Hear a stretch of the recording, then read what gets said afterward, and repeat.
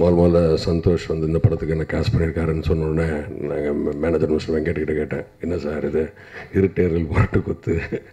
இந்த மாதிரிலாம் படம் எடுத்துகிட்டு நம்மளை வச்சு என்ன சார் பண்ண போகிறாருன்னு இல்லை லைன் கேட்டேன் நல்லா இருக்கு அப்படின்னு. முதல் நாள் ஷூட் போய் பார்க்கும்போது ரொம்ப ரொம்ப ஈஸியாக இருந்தது சந்தோஷ் கிட்ட. முதல்ல சந்தோஷ்க்கு நான் நன்றி சொல்லிக்கிறேன். ஏன்னா இதுவரைலாம் எத்தனையோ படங்கள் பண்ணியிருக்கோம். இது வந்து ரொம்ப ரொம்ப புதுசு. ஆஸ் யூஷுவல் எல்லோரும் வந்து சொல்கிற மாதிரி இல்லை இது. ஏன்னா என் கேரியருக்கு இது ஒரு முக்கியமான படம்னு நினைக்கிறேன். தேங்க்ஸ் சந்தோஷ்.